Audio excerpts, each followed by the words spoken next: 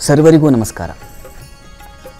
ಈ ವರಮಹಾಲಕ್ಷ್ಮಿ ಹಬ್ಬದ ಕುರಿತಾಗಿ, ಆ ಹಬ್ಬವನ್ನು ಯಾವತ್ತು ಎಂದು ಆಚರಿಸಬೇಕು ಇದರ ಕುರಿತಾಗಿ ಒಂದಷ್ಟು ಗೊಂದಲ ನಾಡಿನ ಜನತೆಯಲ್ಲಿ ತುಂಬಿದೆ.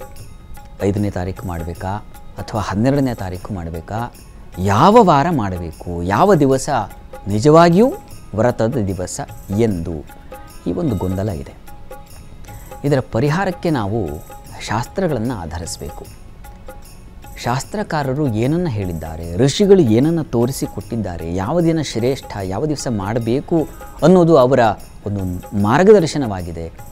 ಇದನ್ನು ನಾವು ಅರ್ಥ ಮಾಡಿಕೊಂಡ್ರೆ ಗೊಂದಲ ನಿವಾರಣೆ ಆಗುತ್ತೆ. ಹೀಗಾಗಿ ಒಂದು ಸಲ ನಾವು ಆ ಶಾಸ್ತ್ರ ನಿಯಮ, ಶಾಸ್ತ್ರದ ವಾಣಿ, ಶಾಸ್ತ್ರ ಮಾತು ಏನು ಗಮನಿಸೋಣ.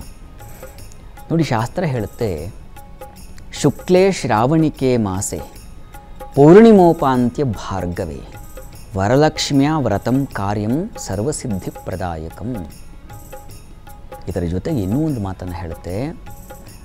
ನಭೋ ಮಾಸೆ, ಪೌರ್ಣಿಮಾಯಾಂ ಅಂತಿಕಸ್ಥೆ ಭೃಗೋರ್ ದಿನೆ ಅಥವಾ ಭೃಗೋರ್ ವಾಸರೆ. ನಭೋ ಮಾಸೆ ಅಂದರೆ ಈ ಶ್ರಾವಣ ಮಾಸ. ಈ ಶ್ರಾವಣ ಮಾಸದಲ್ಲಿ ಪೂರ್ಣಿಮಾಯಾಂ ಅಂತಿಕಸ್ಥೆ ಭೃಗೋರ್ ದಿನೆ.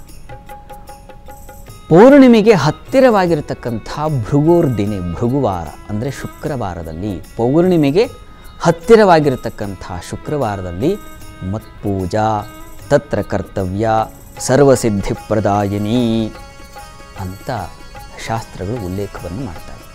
ಹೀಗಾಗಿ ಈ ಶ್ರಾವಣ ಮಾಸದ ಶುಕ್ಲ ಪಕ್ಷದ ಪೌರ್ಣಿಮೆಗೂ ಮುನ್ನ ಬರ್ತಕ್ಕಂಥ ಶುಕ್ರವಾರ ಆ ವಾರದಲ್ಲಿ ವರಮಹಾಲಕ್ಷ್ಮಿ ಹಬ್ಬವನ್ನು ಆಚರಿಸಬೇಕು ಅನ್ನೋದು ಶಾಸ್ತ್ರದ ನಿಯಮ, ಶಾಸ್ತ್ರದ ನಿರ್ದೇಶನ. ಹೀಗಾಗಿ ತಾವು ಈ ಬರ್ತಕ್ಕಂಥ ಐದನೇ ತಾರೀಕು, ನಾಳೆಯೆಲ್ಲ ನಾಡಿದ್ದು ಐದನೇ ತಾರೀಕು ಶುಕ್ರವಾರ ನೀವು ವರಮಹಾಲಕ್ಷ್ಮಿ ಹಬ್ಬವನ್ನು ಆಚರಿಸಲಿಕ್ಕೆ ಯೋಗ್ಯವಾದ ದಿವಸ. ಹೀಗಾಗಿ ಗೊಂದಲ ಮಾಡಿಕೊಳ್ಳದೆ ಕೆಲವರು ಹೇಳಿದ್ದಾರೆ ಯಾವುದೋ ಪಂಚಾಂಗಗಳಲ್ಲೋ ಅಥವಾ ಯಾವುದೋ ಕ್ಯಾಲೆಂಡರ್ಗಳಲ್ಲೋ ಹನ್ನೆರಡನೇ ತಾರೀಕನ್ನು ಸೂಚಿಸಿದ್ದಾರೆ. ಯಾವ ದಿವಸ ಆಚರಿಸಬೇಕು ಅನ್ನುವ ಗೊಂದಲ ಏನಿದೆ, ಆ ಗೊಂದಲವನ್ನು ಪರಿಹಾರ ಮಾಡಿಕೊಳ್ಳಿ. ಐದನೇ ತಾರೀಕು ಶುಕ್ರವಾರ ವರಮಹಾಲಕ್ಷ್ಮಿ ಹಬ್ಬವನ್ನು ಆಚರಿಸಬೇಕು. ಅದೇ ಶಾಸ್ತ್ರ ನಿರ್ದೇಶನ ಮಾಡಿರ್ತಕ್ಕಂಥ ದಿವಸ, ಪೌರ್ಣಿಮೆಗೂ ಮುನ್ನ ಬರತಕ್ಕಂಥ ಶುಕ್ರವಾರ. ಹೀಗಾಗಿ ಗೊಂದಲ ಇಟ್ಟುಕೊಳ್ಳದೆ ವರಮಹಾಲಕ್ಷ್ಮಿ ಹಬ್ಬವನ್ನು ಆಚರಿಸಿ ಒಳ್ಳೆಯದಾಗಲಿ.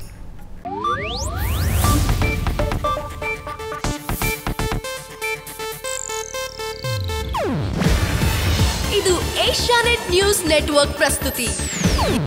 ನೀವು ನೋಡ್ತಿದ್ದೀರಾ ಏಷ್ಯಾನೆಟ್ ಸುವರ್ಣ ನ್ಯೂಸ್.